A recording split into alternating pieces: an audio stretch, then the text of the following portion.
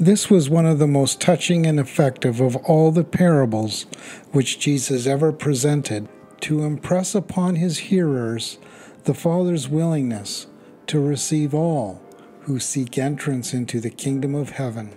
Many, many times during his years of teaching, Jesus told and retold this story of the prodigal son. This parable and the story of the Good Samaritan were his favorite means of teaching the love of the Father and the neighborliness of man.